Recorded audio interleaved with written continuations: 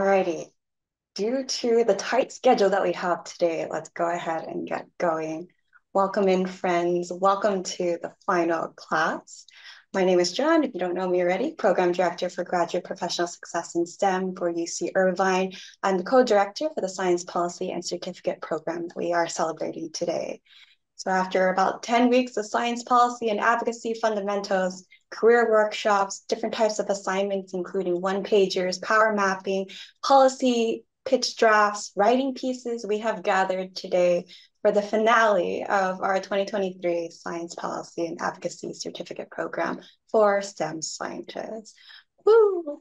So today our pitch finalists includes 15 of our top performers who have gone through several iterations and feedback cycles with our esteemed science policy experts, as well as one-on-one sessions with Bree McWhorter, CEO and founder of Activate to Captivate. I'm so incredibly appreciative of our reviewers' times, our trainers' time, and of course our participants' time to take that iterative approach and really improve and get to become uh, part of this stage today. So these two minute pitches can maybe one day become real life policy changes, and that's what we hope for down the line. Just a heads up in terms of how today will work. Uh, I will go ahead and pre present our presenters. I will introduce them briefly, give them their two minutes to present their pitches. The judges, which have should have their sheets already, their grading sheets. If you have any issues, please reach out to Amy Ralston to get any help with that. They will be grading numerically based on five criteria, which you all should be familiar with, which is what we used for evaluating your assignments. We'll do a short review with our presenters. I'll ask them one question so that way we can buy some time for our judges to think a little bit longer. We'll have our total sums, which will be coordinated by Amy in the back end. Thank you so much, Amy. And if we have some time at the end, we will ask our judges for their career advice, feedback on today's performance, and overall thoughts. So during that time, when we're sort of waiting for our final results, uh, we will have Adriana announce our top five writing winners, as well as our top 20 total uh, finalists for our honorable mentions on the writing pieces. And then, of course, we'll have our top three pitches based off of highest average scores.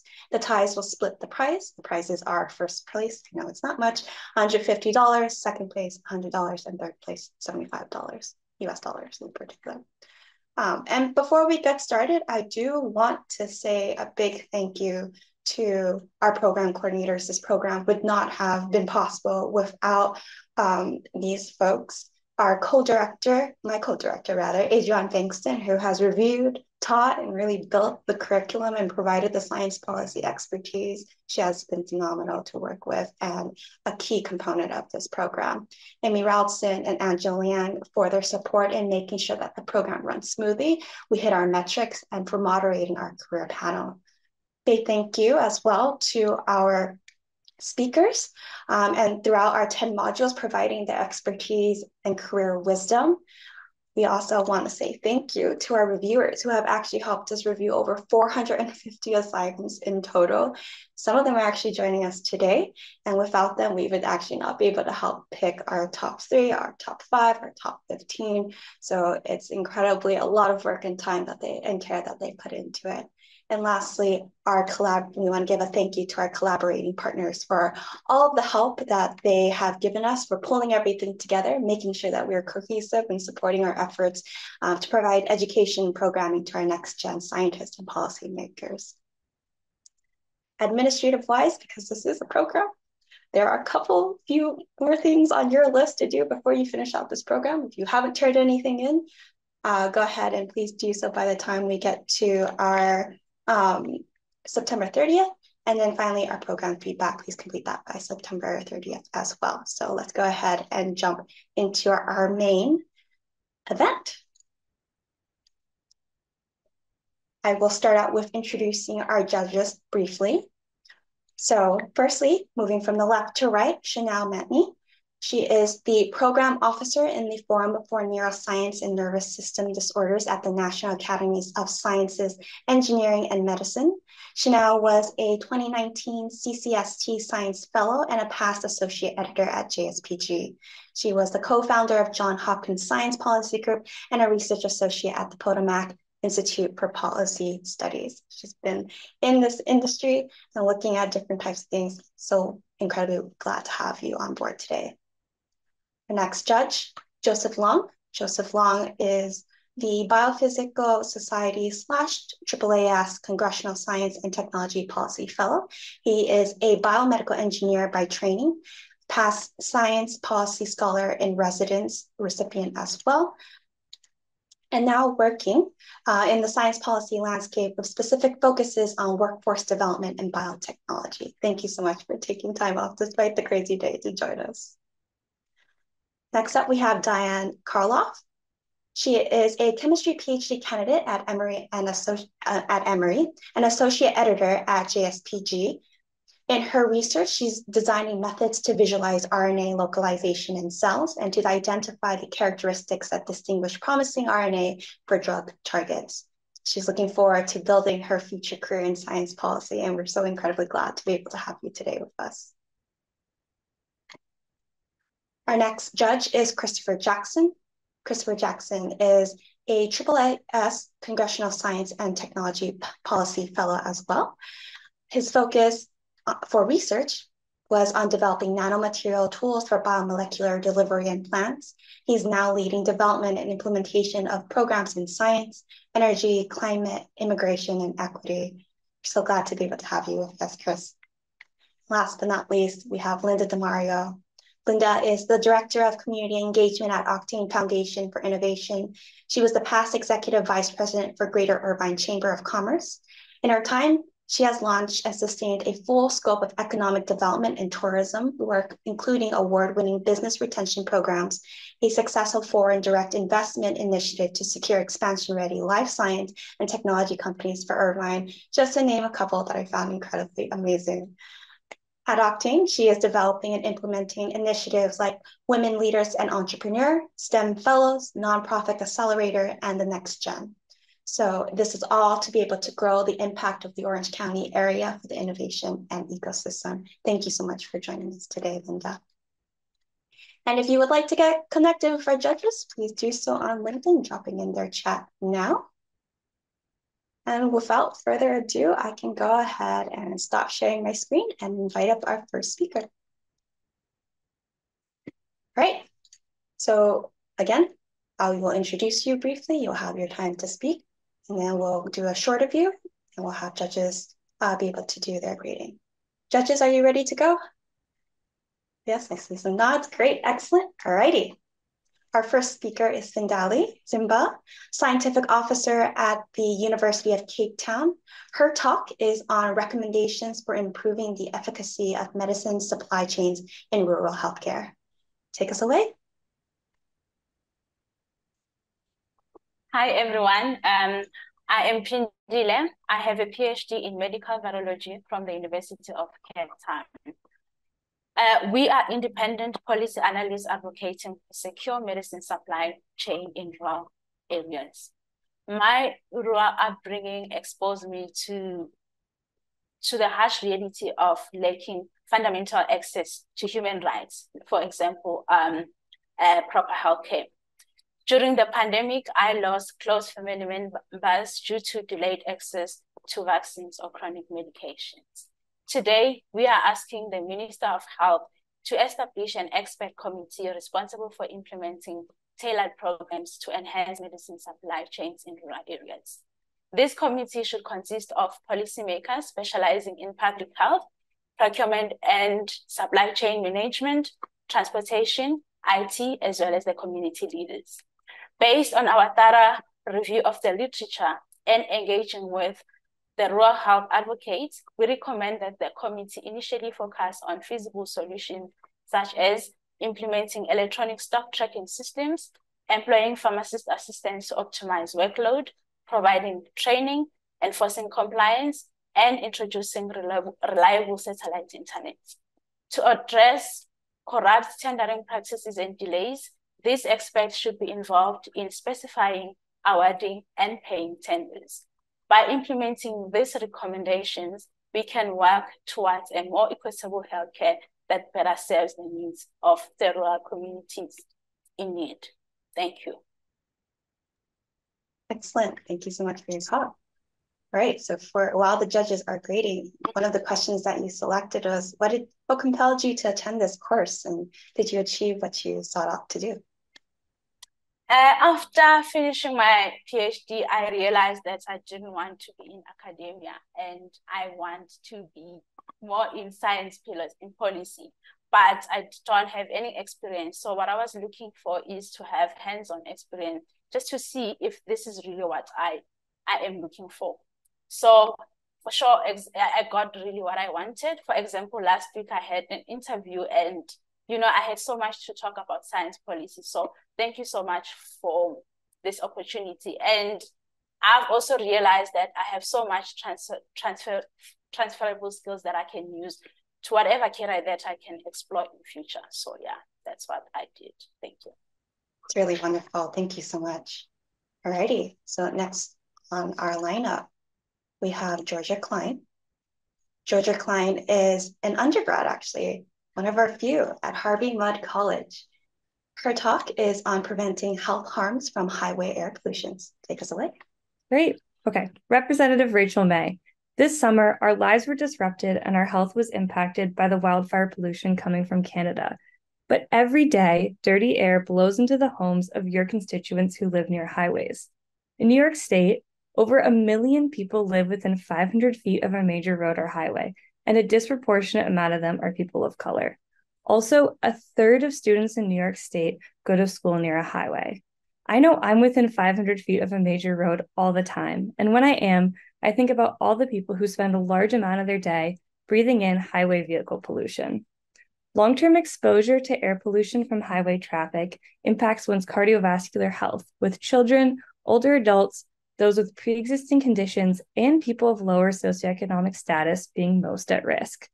As a scientist with research experience in air and vehicle pollution modeling, and as a resident of New York, I'm here to ask you to promote legislation to help prevent negative health impacts for New Yorkers from highway pollution. Just last year, you sponsored a bill that passed in the New York State legislature preventing highways from being built within 500 feet of existing schools. This is amazing, Thank you. Now, to expand on this, what about the people who already live, work, and go to school near highways? What about elders and people of lower socioeconomic status who are at greater risk? I'm asking you to introduce and support legislation to provide relevant public health information to households and businesses near highways and to provide access to free or low cost air filters and filter replacements to schools as well as elders and low income families who live near highways.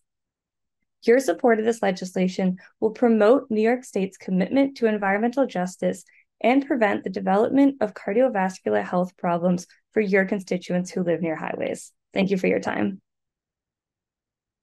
Excellent, Georgia.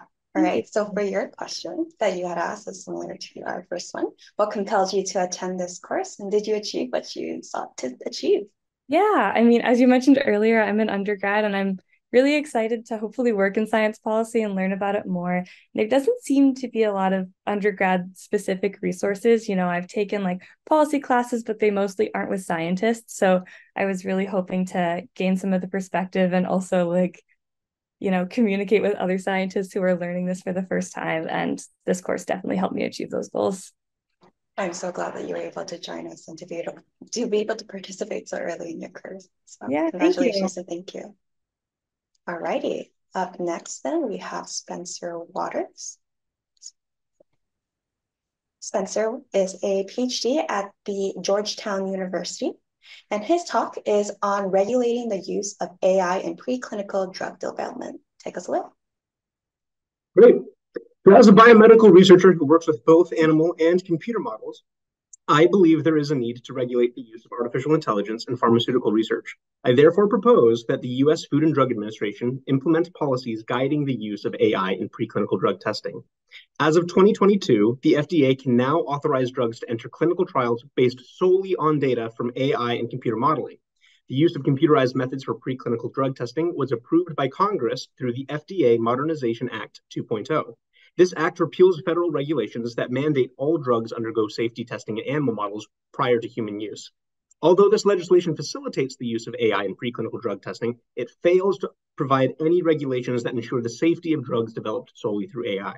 This lack of regulatory oversight could jeopardize patient safety and highlights the need for new FDA guidelines. I propose such guidelines should be based upon the three R's of artificial research replicate, report, and restrict. The first R is replicate. This principle is based on verification through reproducibility, and this would mean that all AI drug testing must be replicated by at least two independent labs before proceeding with clinical trials. The second R is report. This principle is grounded in transparency and public trust. Accordingly, all computer models from AI testing should be made publicly available. The third R is restrict. This principle aims to prevent over reliance on AI. To do this, the FDA should limit the use of AI in preclinical drug development only to biosimilars and generics of previously approved drugs.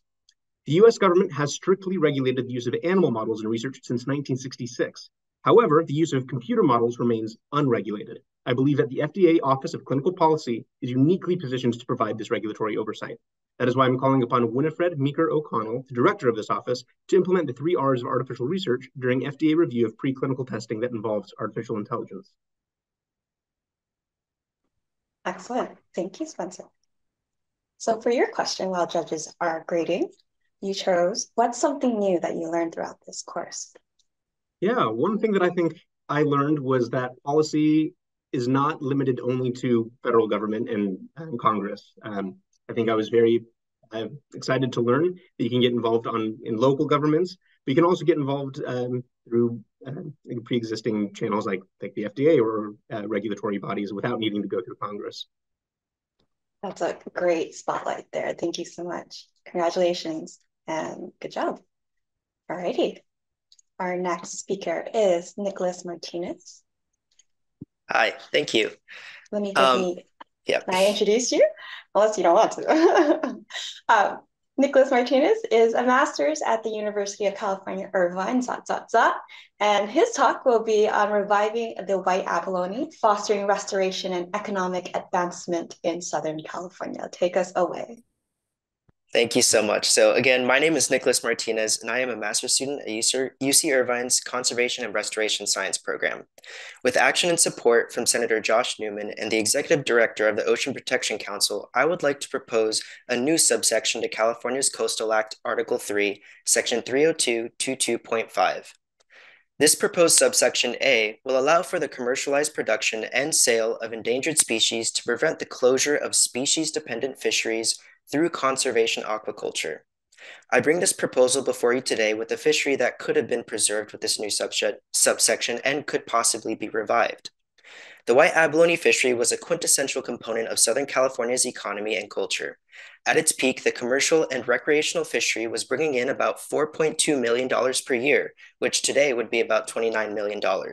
However, this species experienced a 99.9% decline, resulting in the complete closure of the fishery and the subsequent way of life for a lot of fishermen.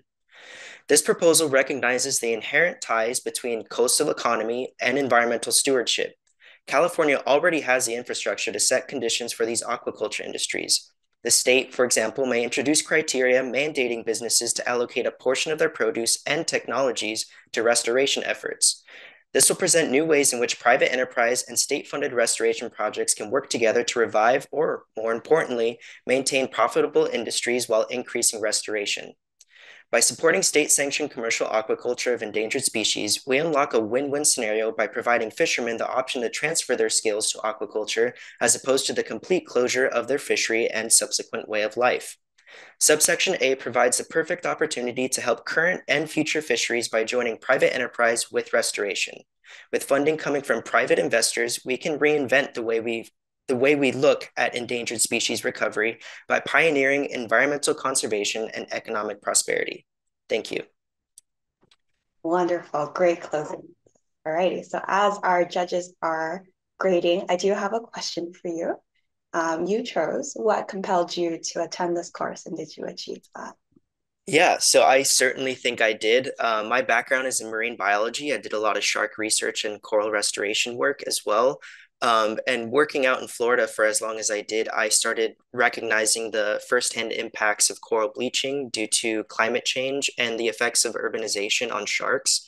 So I really wanted to change my focus from research to more of like a an active conservation role, and that's why I joined my UCI program, which is only about six years old, so still a new field, uh, and that's why I joined this program so I could also learn more skills and get better at what I'm doing.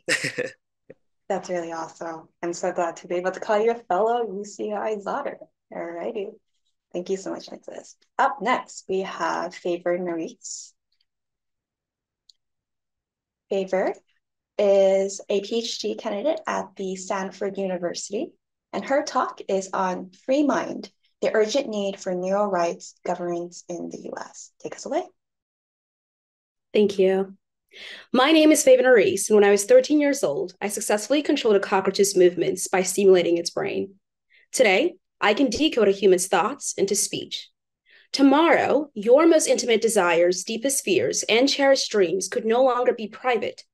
This isn't a dystopian novel plot, but a reality we could face without proper federal regulation of neurotechnology and neurodata.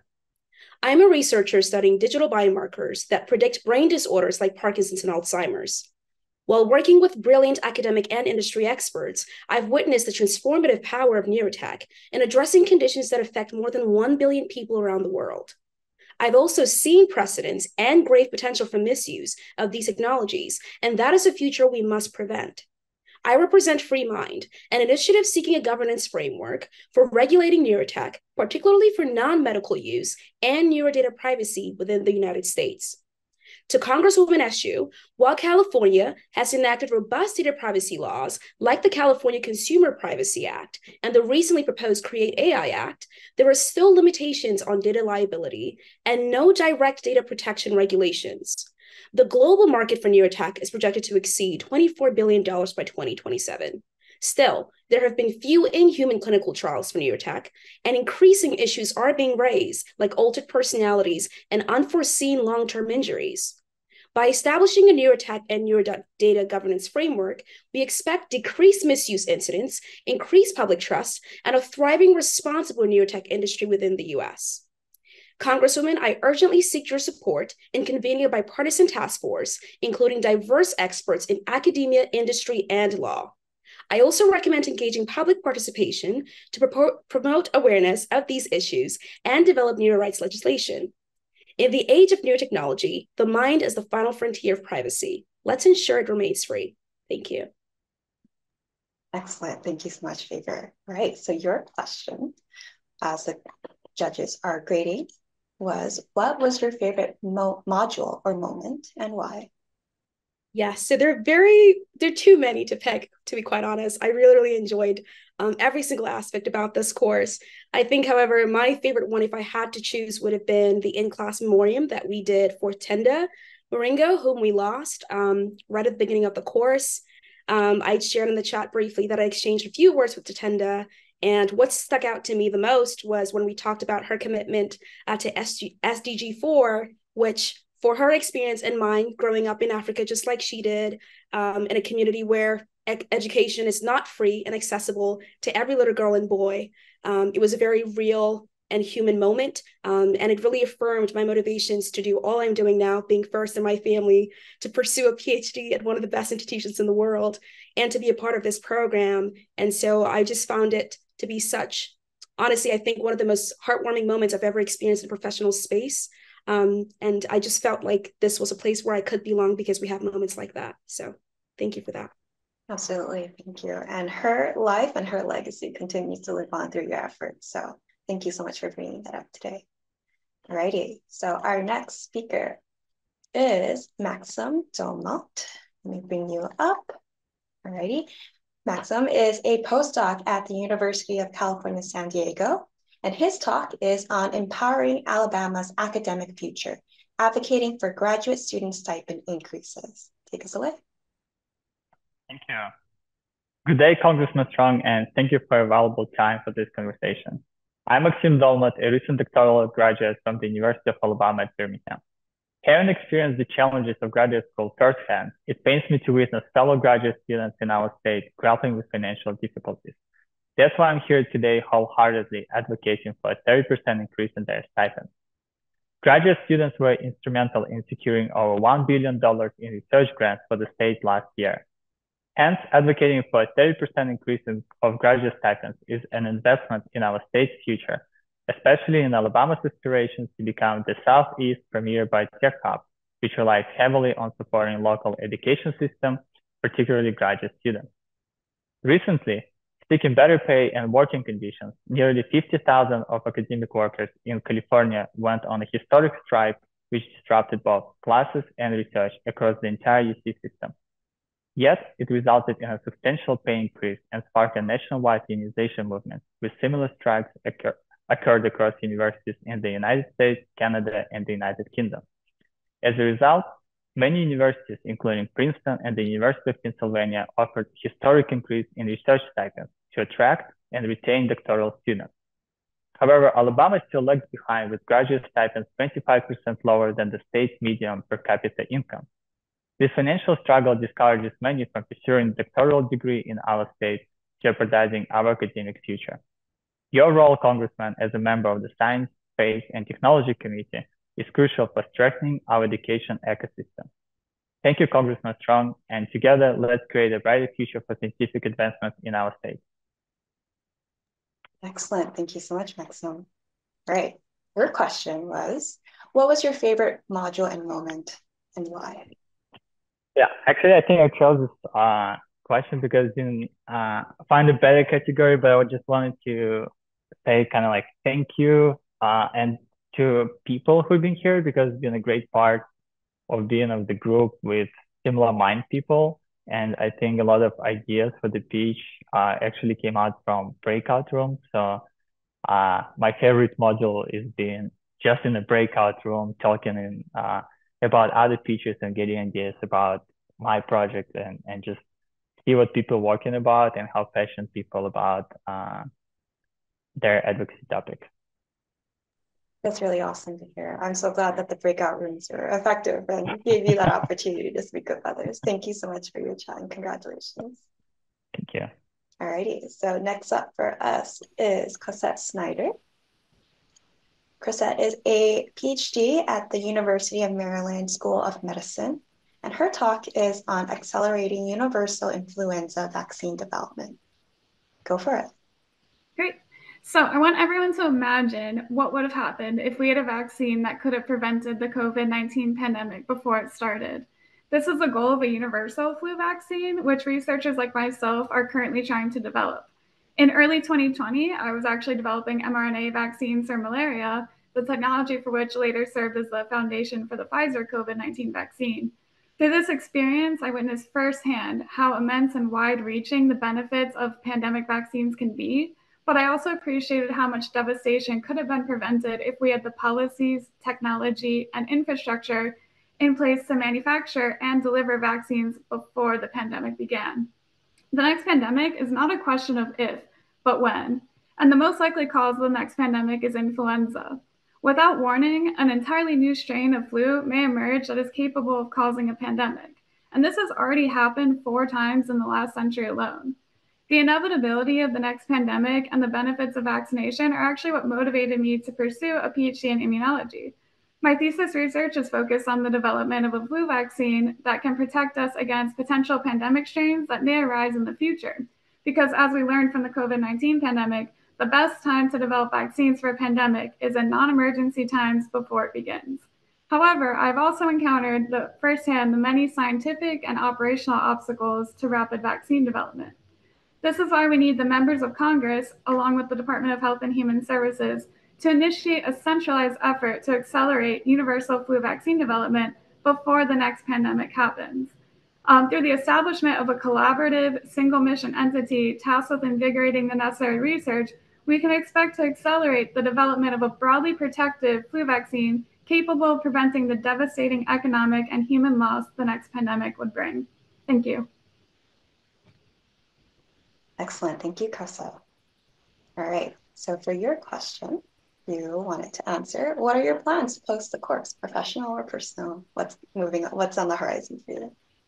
Yeah, so I'm I just started my third year of my PhD. So the the most immediate plan is to finish my PhD, and then after that, I want to do um, some postdocs and staying in the vaccine world to eventually transition into a policy position where I could advise vaccine policy. That's awesome. Looking forward to it. See you on the other side when you're there. You got this. Thank you so much. Thank and you. Good job today. Alrighty. Our next speaker is Molly Marr. Something pulling you up for everyone. Molly Marr is a residency at the MGH McLean, and she has her talk on increasing access to youth mental health services. Take us away. Hi, everyone. My name is Molly Marr, and I'm a resident psychiatrist at Massachusetts General Hospital. Senator Wyden, I'm asking you to increase access to youth mental health services. Every shift, I witness the ongoing youth mental health crisis. Children are on stretchers after suicide attempts, waiting for an inpatient bed that may or may not open up. Children are discharged without access to outpatient services. What I'm seeing daily is a reflection of something that's happening across the country.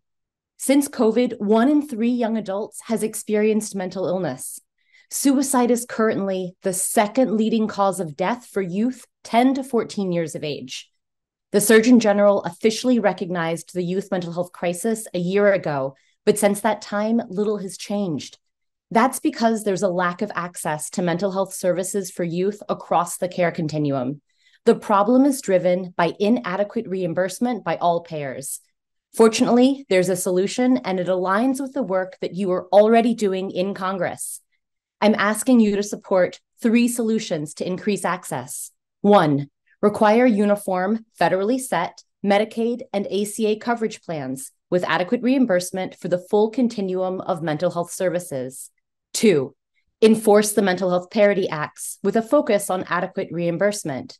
Three, provide tax incentives or block grant grants for hospitals, rural health clinics, and federally qualified health centers to create new services for children so they have access to the services they need when they need them. Addressing youth mental health needs as soon as possible reduces the burden on families, schools, and public health systems and sets our children up to be successful adults. Thank you. Thank you so much, Molly. That is a topic for me personally. Mm-hmm. Good thing I'm not judging. That's dear and close to my heart. so for your question, you wanted to be asked, what's something new you learned throughout this course? I was I learned so much from all the writing work because I came into this having some background in writing, but in consensus study approaches, which is so different, and realizing like the pitch versus a one pager versus a memo versus an op-ed versus I, it was really useful to to understand how different those needed to be and really the framing. And i am so grateful for all of those activities. That's really awesome. And to your point about the nuances as a first time going through this i definitely learned a lot on the back end. So i definitely echo that thought. Thank you so much and congratulations Molly. Thanks. all righty. Our next speaker is emma koltoff bringing her up. Emma is a PhD at the Wake Forest University School of Medicine, and her talk is on improving patient access to community health clinics. Take us away. My name is Emma Koltoff, and I'm a PhD student who uses 3D printing to support local healthcare clinics. Representative Kathy Manning, healthcare is a fundamental human right, and we are responsible for ensuring that everyone in the US has the opportunity to thrive. Today, I am asking for your support for projects that will improve the quality of care that federally funded community health centers or CHCs are able to provide. CHCs provide affordable healthcare options for the more than 28 million minority, low income, and, un- and uninsured individuals across the US. These individuals may live in rural areas, far from major health, health, health clinics, and may not be able to pay for medical care that they require and deserve. Yet, while these centers reduce the burden for individuals to receive care, they do not solve their issues entirely.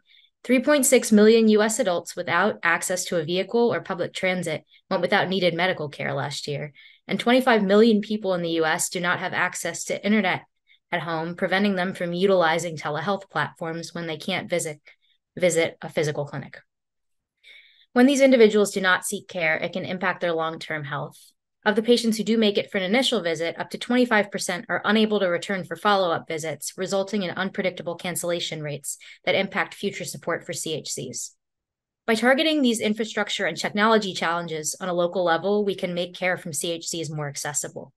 To make this vision a reality, we are asking for three main policy changes supporting proposed and ongoing projects which can bring internet access to rural areas, enabling telehealth access advocating for extension of public transportation systems to reach individuals in transport deserts, and promotion of community partnerships between CHCs and technology development groups to expand patient access to therapy tools.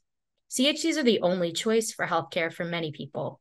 Investment in local infrastructure and development greatly increases the impact these centers can have on the health of our country. Thank you for your time. Excellent. Thank you so much, Emma. All right, so your question was what compelled you to attend this course and did you achieve what you set out to achieve? Yeah, so I think like many people here, I'm both a scientist and an advocate, um, and I really wanted to figure out how to connect the two better. Um, and I, I kind of struggled to figure out how to navigate the policy space because it was new to me. Um, so this course felt like a really great way to like dive right in and learn the skills, the, the or, oral skills, writing skills, like power mapping, everything that was mentioned previously, and even just like the basics of researching both unfamiliar science and like people in the policy space that I needed to impact as well. So I got I I think I achieved all of it. That's awesome to hear. Those are our metrics that we're checking off for our book. we'll take that. Alrighty. Thank you so much, Emma. Congratulations and great job today. Alrighty, so our next speaker is Meredith Sutton. Let me bring you up. Meredith is a PhD at the University of Nebraska-Lincoln, and their fun and their talk is on funding for treatment of nitrate pollution in well water in Nebraska. Take us away. Thanks. Uh, hello, my name is Meredith Sutton, and I'm a PhD student at the University of Nebraska-Lincoln in the Department of Civil and Environmental Engineering. Uh, I'm here today because I'd like to speak with you about continuing your support for community level water treatment programs here in Nebraska. I work with the Citizen Science Plus Water Quality Project, where one of our primary goals is to better develop the understanding and data coverage on nitrate and phosphate pollution uh, in domestic well water in Nebraska. Since 88% of the population of Nebraska obtains their drinking water from groundwater, it's an important topic across the state but especially in rural and agricultural areas where that percentage is even higher. Working with the public so far, we found that 18% of well water samples uh, that we've tested have nitrate concentrations at or above the US EPA drinking water standard. Now, we know the Nebraska legislature is not unaware of this issue and the health concerns that nitrate in drinking water can cause due to the current programs funded um, to help with treatment, such as the reverse osmosis uh, rebate program. However, this program has a limited funding window, and we ask that you renew it for this coming year. Through partnerships with NRDs and Conservation Nebraska, we've been able to educate constituents about the importance of testing their well water as well as how to do so regularly. With the rebate program, we have a concrete next step that we can recommend to families that test above the EPA standard. Programs like these are sorely needed in the state of Nebraska, and our research group is more than happy to provide information or data to help support further programs to, uh, to assist Nebraska citizens with treatment of polluted groundwater. Uh, thank you. Excellent. Thank you so much, Meredith. So for your question, you had wanted to be asked, what's something new that you learned throughout this course?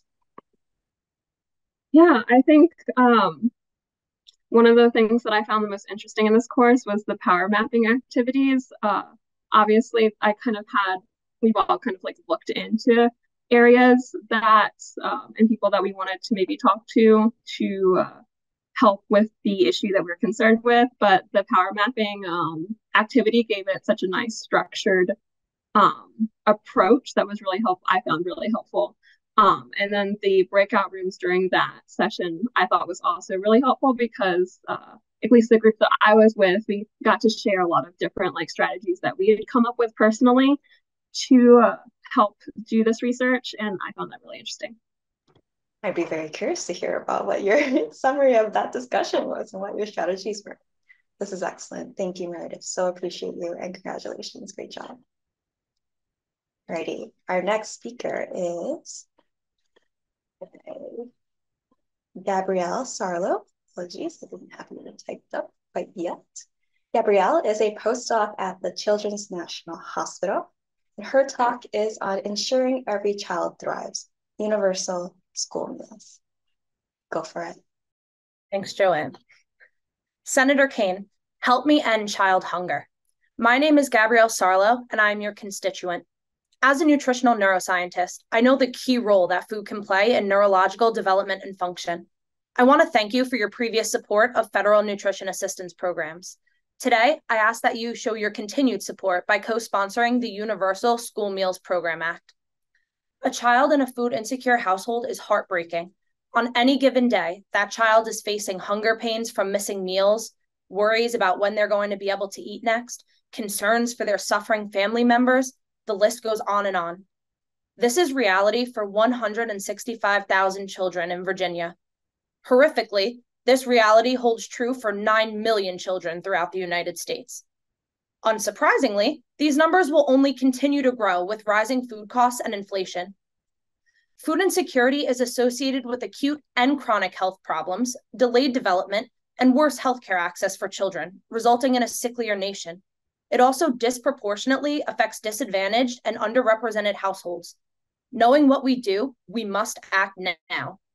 The Universal School Meals Program would provide free school meals for all children and address major pitfalls of currently available pro- programs, such as insufficient coverage for children in need and limited availability of meals during non school sessions.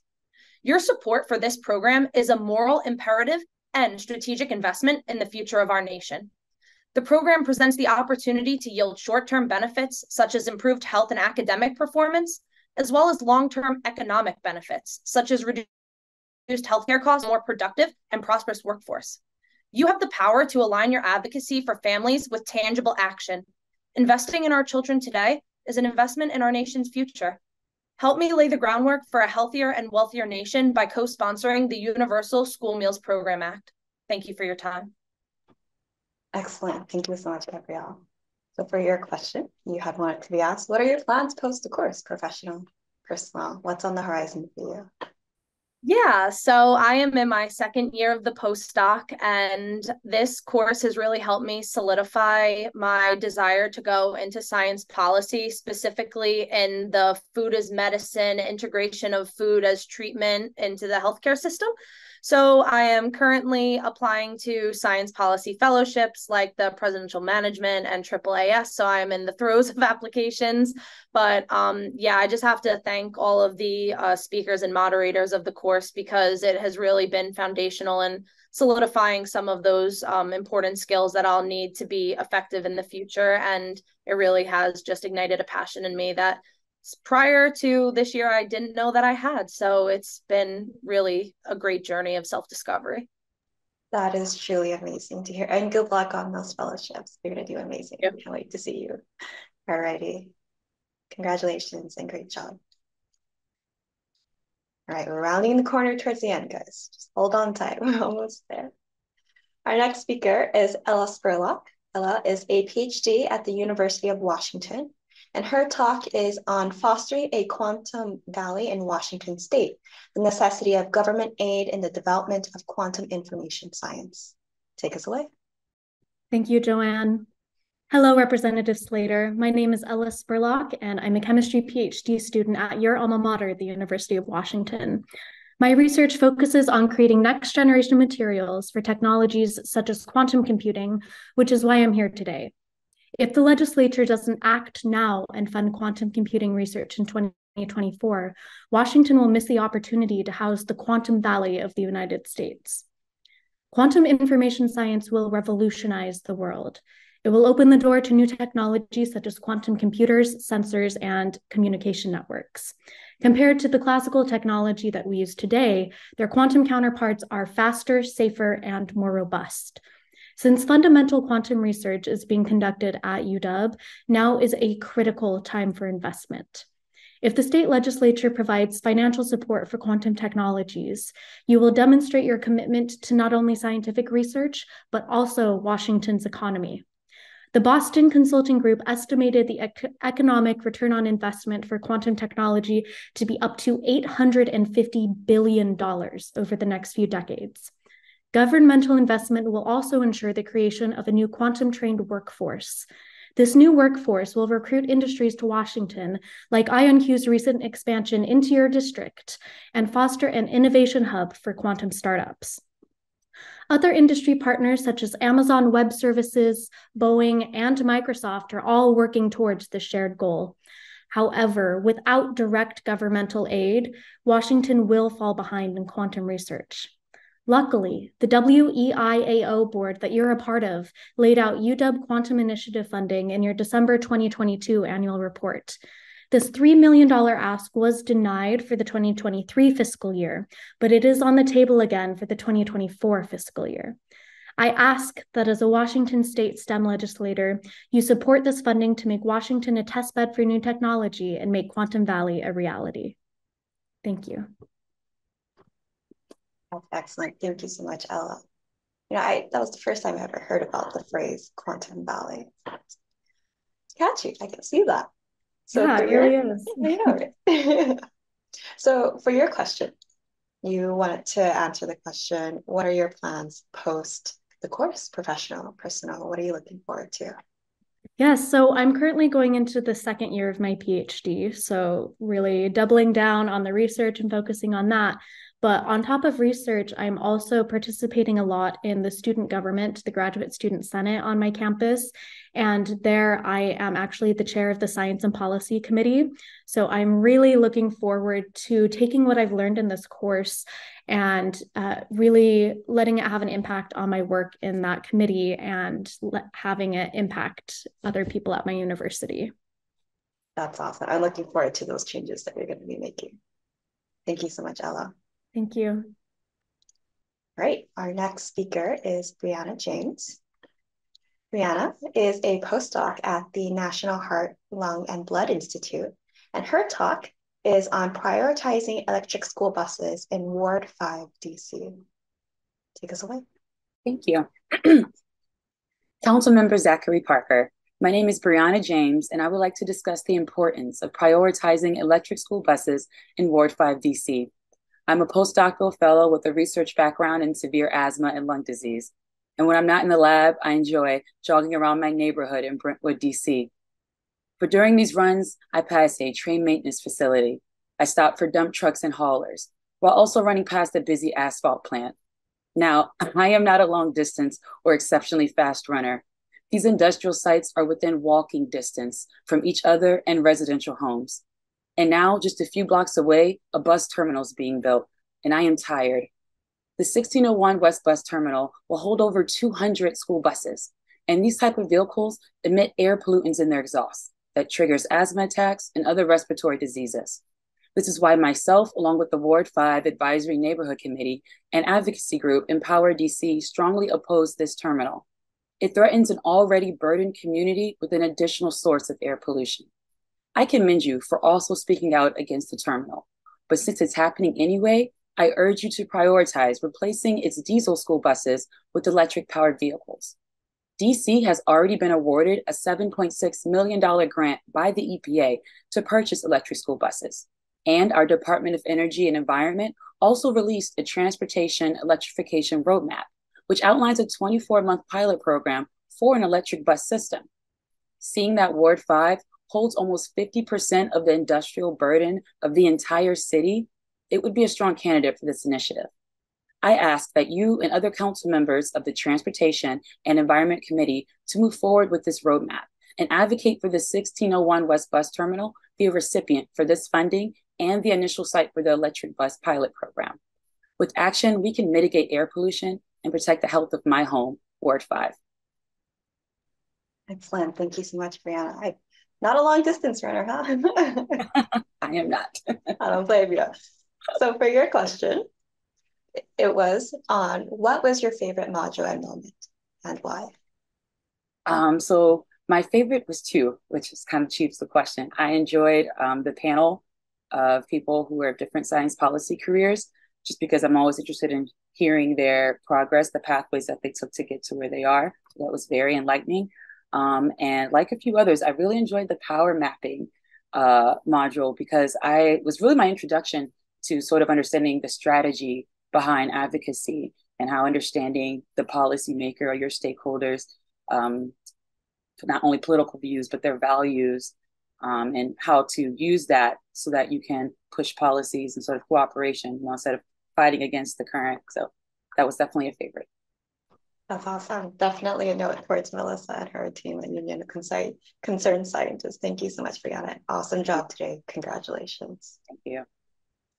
Alrighty. Our next speaker is Lourdes Davis. I'm going to add her up here.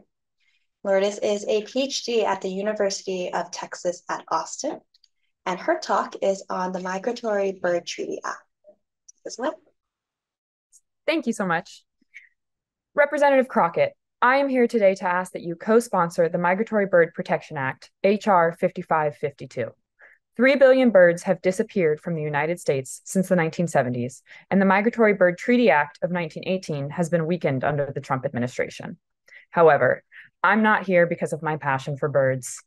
My name is Lourdes Davis, and I research environmental toxins and their effects on neurodevelopment.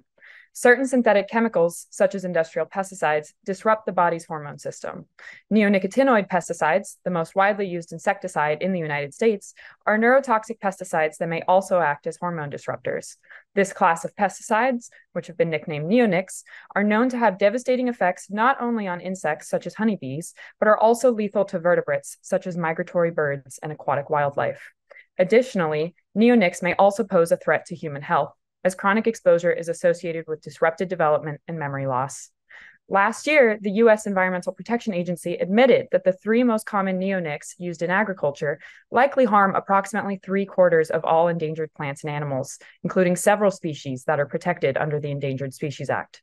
However, the EPA has steadfastly refused any motion to ban the use of these pesticides, all of which have been banned in the EU since 2013.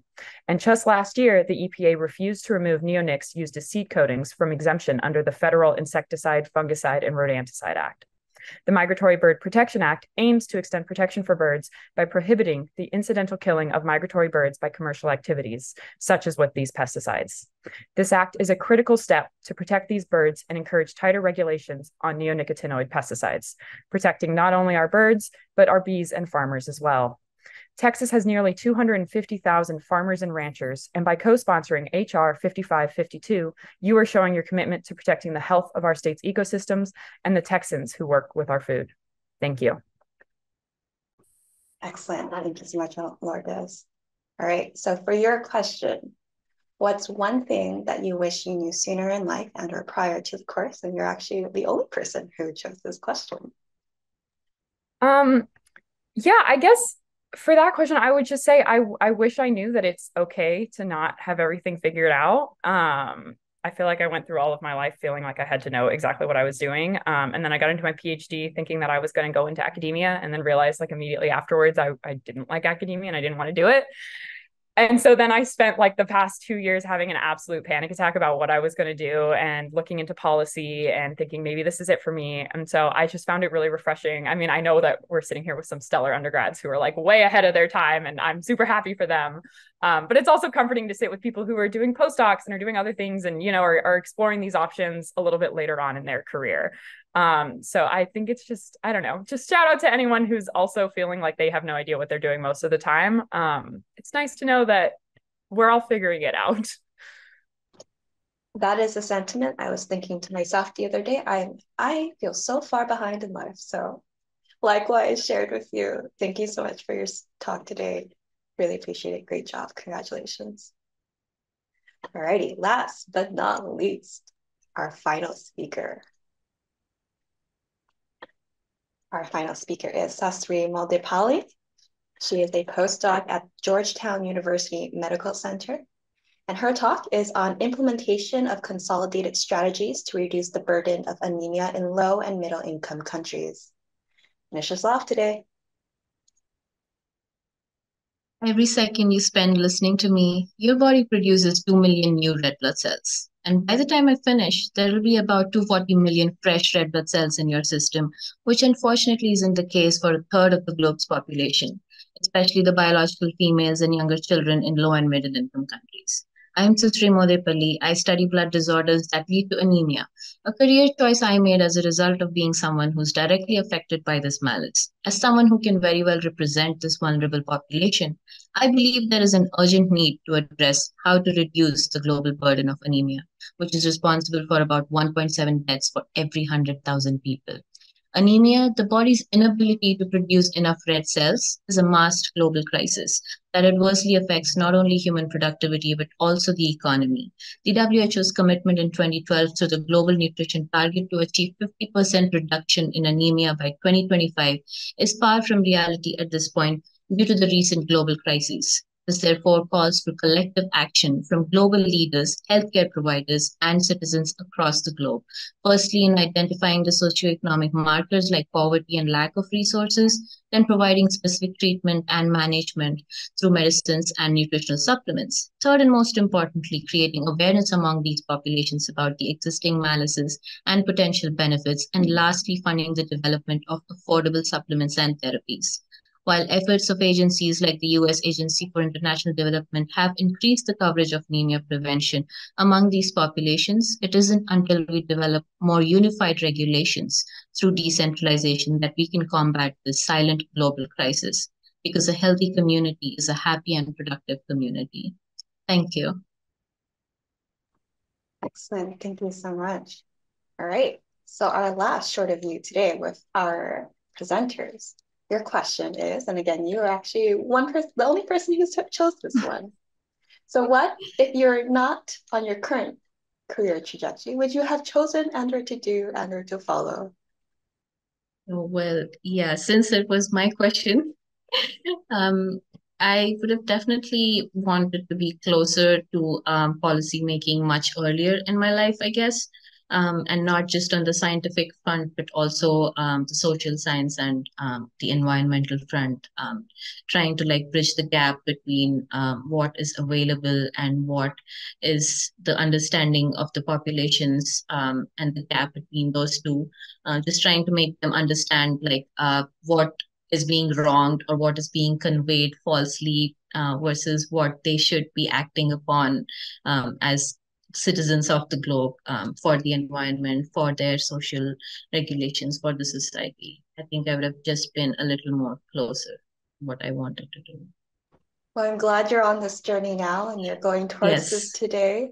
Thank so, you so, so much. Yeah. Absolutely. So glad and happy for you. Thank you so much for your presentation. Congratulations and great job. Thank you, Jan.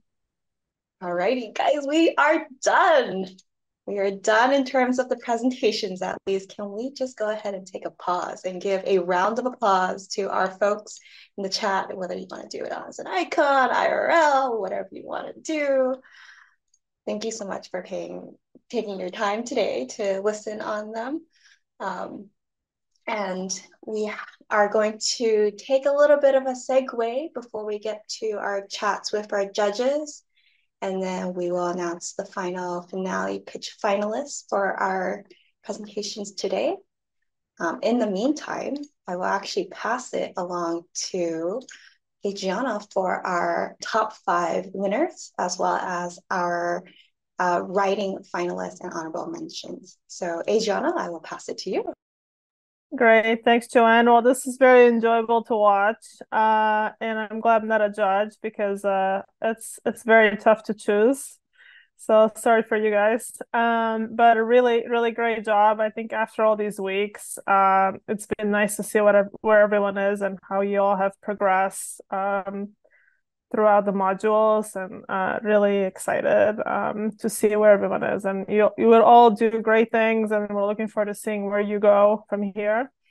Um, so on the writing, also appreciated the comments on this. I'm glad that this was helpful. It's a big part of uh, any policy role. You're gonna have to do some writing. So um, I think um, my sort of reviews, I guess, from um, having read multiple um, versions of the write-ups that you had um, I think you know that's something to keep in mind.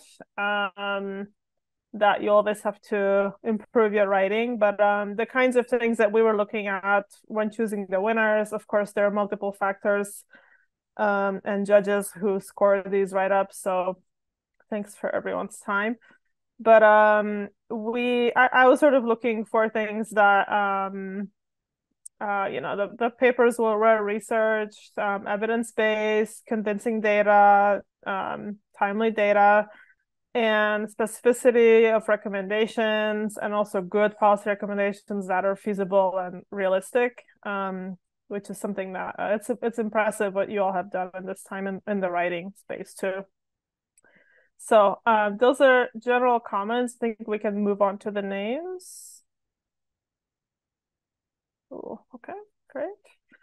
Um, so we, uh, as Joanne mentioned, I think we had a hard time choosing folks, and um, it's actually difficult to compare between all the these different formats as well. But nice to see the top five um, here, which have multiple um, formats too. So we have Nathan, Favour, Zoella, Brianna, and Srikar. Congratulations. Um, and then we have um, honorable mentions, part of the top 20.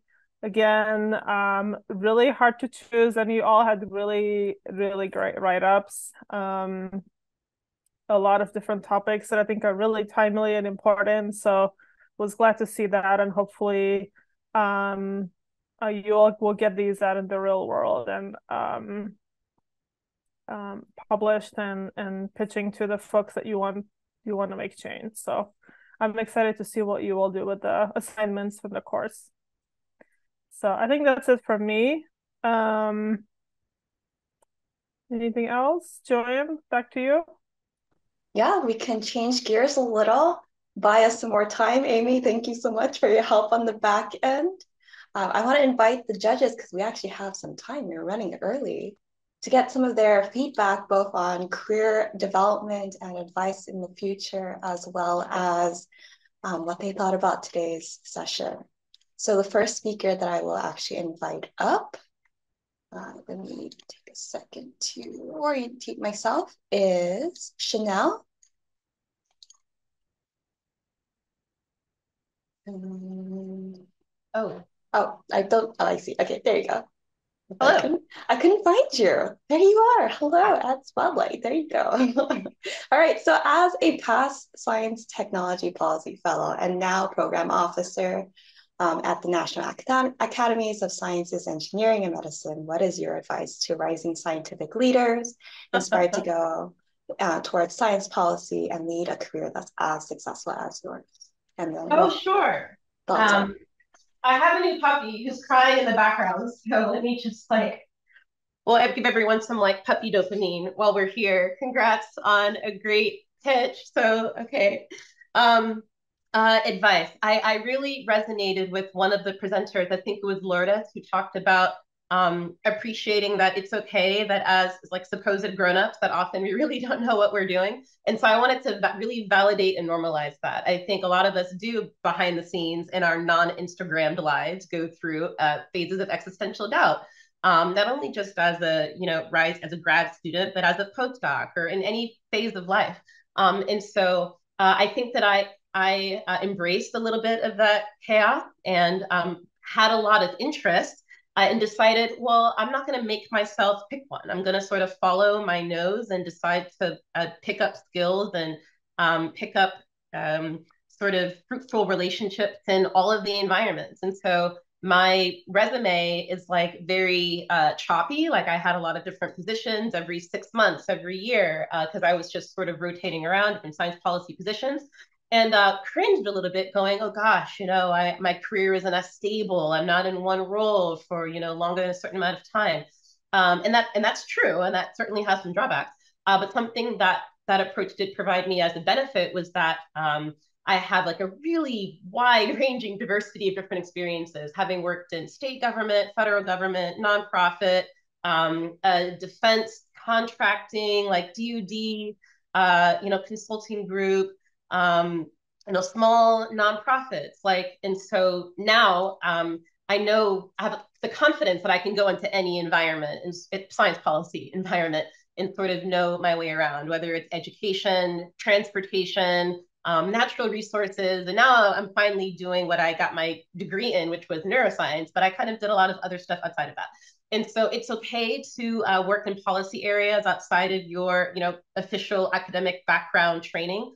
Um, I think if anything, it really uh, humbles you, but also broadens your ability to understand that um, science isn't so much what you studied, but it's how you think, like thinking critically, thinking skeptically, and understanding the power of data.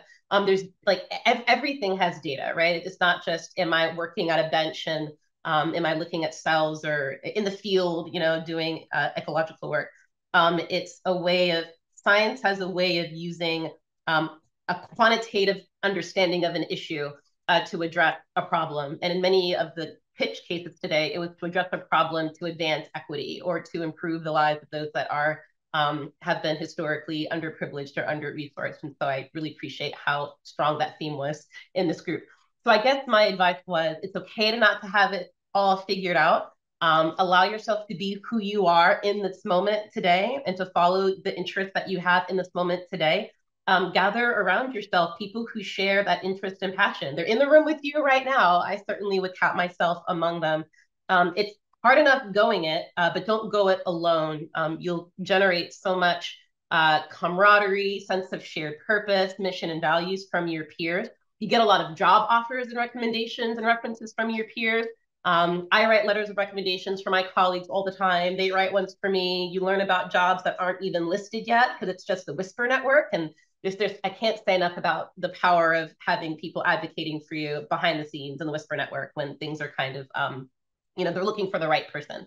Uh, and so um, uh, really lean on each other. Um, it's okay to, to not really feel like you know what's going on. I think a lot of us really do undersell ourselves. Uh, you're all brilliant. You're incredibly capable. I'm so glad that I was able to be a part of this experience, even just for uh, this afternoon. So that's very long-winded, but that that is my advice. I'm really proud of all of you for your hard work. Thank you so much. Now we have to ask, what is the puppy's name? Oh, oh, so precious, so precious. Thank you so much for your time today. I know there was a little bit of a glitch on the back end for you for connections, but truly appreciate the words. All right, next up, I will invite up Joseph Long to a spotlight. Joseph, so as a Biophysical Society AAAS Congressional S&T Policy Fellow, what's one or two tips on becoming a fellow? What made you stand out and thoughts on performances today and or career advice overall? Yeah, I mean, I think courses like what you're you're going through right now are a very clear sign that you're dedicated to policy. So I think it's something that's really going to stand out uh, for any sort of policy fellowship, whether it's AAAS uh, or even at the state level. Um, and of course, I would like to echo what Chanel said. Uh, 100% on not knowing what to do. I'm going into this entire process and I'm going into Congress not knowing anything. And that's sort of the the name of the game. And I think that's something you should just expect through life, right? You know, being an adult, it's already just so challenging. And then dealing with all of these things, you learn how to think and not necessarily how to know when coming out of a PhD.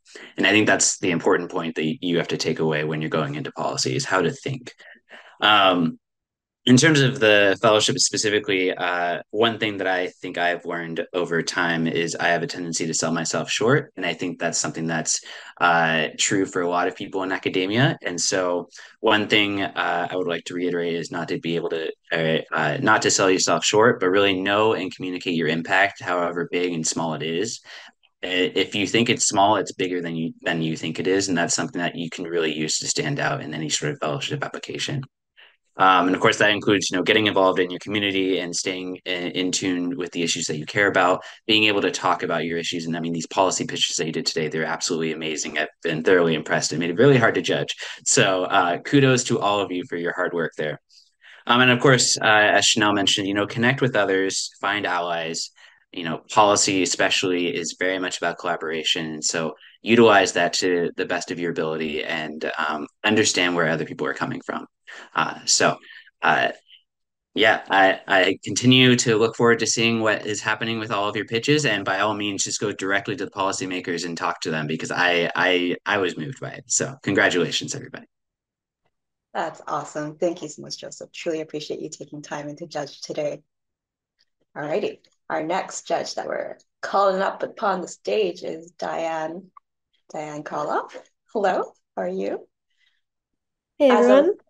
A, as a rising leader in this space and currently an associate editor for Journal of Science Policy and Governance, what's your advice on getting your work published either in JSPG or in a broader spectrum? And what's your feedback on some of the pitches today? Thanks everyone for taking the time to share all the hard work and research that you've put into your pitches today. I think all of them could be the, a solid foundation for an article at the Journal of Science Policy and Governance. I'd say at the journal um, to publish, it's your job to dive deep into the problem and the literature, identify creative yet viable solutions, and then convince non experts why this is an urgent problem worth solving and how it can be done. And so, um, I think for the pitches, you want to convey the same information, but it was, I think something that really struck me is how much your stage presence draws the audience in. This is, uh, you've got two minutes. So I think one of my biggest recommendations is it might be a little tough, but that is a memorizable amount of content. And if you can be mostly looking in the camera rather than reading off screen, smiling, showing your passion. And I thought it was really striking some of the pitches that started off with a story that drew people immediately in as opposed to um, i'm speaking to this specific person that was something that i found really grabbing my attention Excellent. Thank you so much. Truly appreciate your time joining us today, Diane. Looking forward to seeing the scores on the other side. Thank you. All right. Our next judge that I will be pulling up here is Christopher. Chris Jackson, hello. So as a AAAS Congressional Science and Technology Policy Fellow, what's also one to two tips on becoming a fellow? You know, what made you stand out and thoughts on the performances today? Sure. Um, well, first off, excellent performances, and I think really, really does a great job of, of the skill that I'll highlight here that maybe ties into what Joseph mentioned all, which is communication. No matter if you're interested in becoming a science policy fellow or interested in kind of science policy more broadly, right? No matter where you end up, being able to write and talk um, are the two primary things that I do every day um, in my day job. Um, and so being able to do that effectively to to non-scientists, but also to people who are not experts in science or the issue you're talking about, but are experts in something else. Um, and so being able to communicate and bridge those gaps is super important. So it's glad to see that all of y'all are really developing those skills. I think at least for, on, on the judging side, it's a super realistic experience of kind of what a policymaker deals with, right? They get 15 different things pitched to them, maybe not over the course of an hour, but over the course of a day, 15 totally different topics. You have to kind of recognize how do you stand out? How do you make sure your message gets across in that type of environment? Um, and the kind of work that I do, right? There, there, if you're lucky, there's one person that's a quote unquote science expert um, on, the policy side. And, and as being that person, having been called that person in offices, I just learned 15 new things that I knew next to nothing about over the course of the past hour. So, um, again, in terms of advice, as you're thinking, if you're thinking of uh, applying for science policy fellowships or moving into it more broadly, I'd encourage you to think um, you don't have to move to DC um, to do this type of work. And even before or instead of, you can also, I'd encourage you to think about local. Um, I really liked a lot of the pitches today that, that talked about things like, you know, local city councils and, and local issues. Those are ways you can be super impactful um, and really encourage you to think as you're hopefully um, taking some of these ideas and translating them from, from good ideas to actionable policy, like thinking about how that might apply locally. That's excellent. I know Adriana was a big push on the local level types of work, so I'm glad that that was recognized and was able to be heard. So thank you so much for your time today, Chris. Really appreciate it. All right, last but not least, for our final judge, I am so glad to be able to call Linda, one of my great friends. I really appreciate her time today for joining us. And Linda, um, for your question, you know, reflecting back on your incredible executive and community development focused career, what's your advice to rising scientific leaders who are inspired to go towards this type of career and lead a career that is as successful as yours? And then finally, what's your thoughts on today's performances? Uh, well, thank you. Uh, thank you for that intro, Joanne. first of all, I, I, tell you, I could just sit here and echo every um, piece of advice uh, that has been shared, and we are clearly in different generations. So, for those that are listening in, there are some things that don't change. And the quality of the and the thread of the advice that you're getting you know which is that you know know what you don't know as well as what you know. And it's okay to not know things and to seek help. Um, critical thinking which is just astoundingly at risk today. Um, and to be curious constantly curious and to always be learning. Um, and to and to have the confidence to be able to present and narrate your case and your cause uh, with passion but facts to find a way to compellingly connect your facts and make an emotional attachment uh, that's meaningful uh, the feature rather than and as well as the benefit.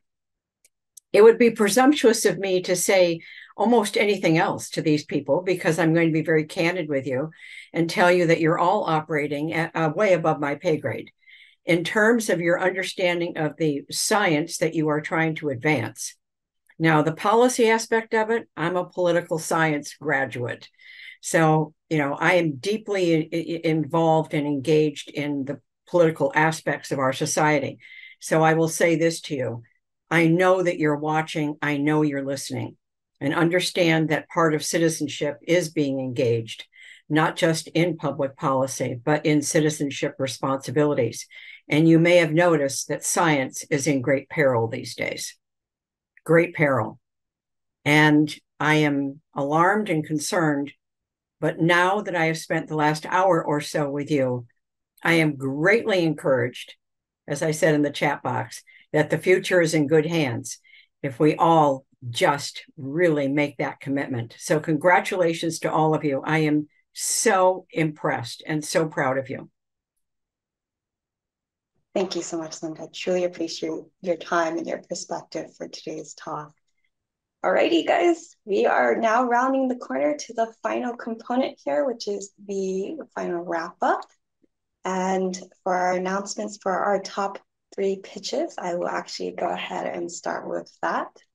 If I can make sure I've copied the right thing from Amy. Just reading each other's comment. Thank you, each other. All right, so for our third place, we have Favour Nerrise from Stanford University on her talk for Free Mind, the urgent need for neuro rights governance in the US. Congratulations, congratulations. Alrighty, and then going on to our second place. And I should note, just looking at these scores, they're off by point like five and or 0.25. That's how close this is. So it was incredibly difficult to judge, as I can see from the back end. Right. Our second place then is Gabrielle Sarlo from Children's National Hospital for ensuring every child thrives, universal school meals. Congratulations.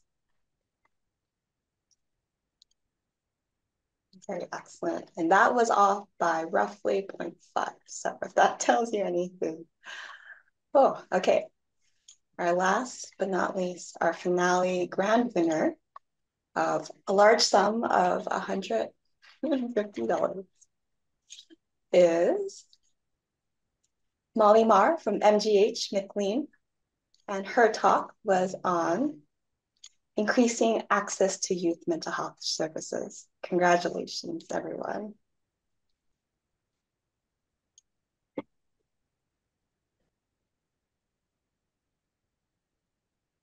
As the administrator in this, I can only be baffled and have not very much many words to share other than such a wonderful group of folks and so incredibly honored to have been able to see you all grow throughout this and to see how you guys were able to develop and refine your work.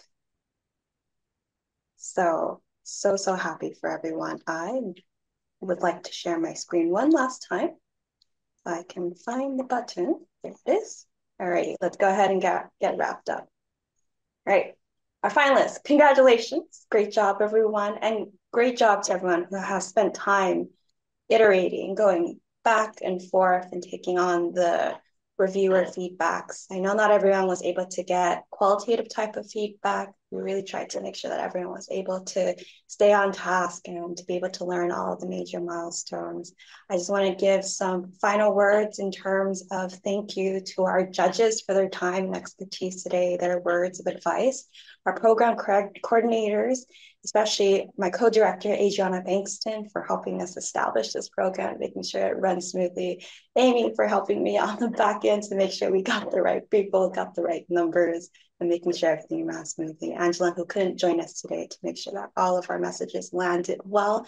Our speakers, our reviewers, and of course, you all as participants. Adriana, if you want to add any final words, I can go ahead and get us wrapped up. Otherwise, we'll take a pause if you have anything you want to share. Sure, just what I said in the chat. I'm really proud of everyone and uh, the work you've done and where you are today from where you started. So, uh, yeah, looking forward to following what you will do next. And please connect with us on LinkedIn and uh, reach out if you need help along the way. Yes, absolutely. Okay, don't run away quite yet. Y'all still remember, you still have one last thing you need, we need from y'all uh, besides your last minute assignments, which is to complete our survey to make sure that you get your certificate, uh, but also that you are able to um, let us know how we did, how we can improve and make sure that we're able to meet the brief every time in the future. So thank you all for your time throughout this program. So incredibly thankful. So I'll stop here and I'll stay back for anyone who has any logistic questions, but congratulations on completing the certificate program. We're done.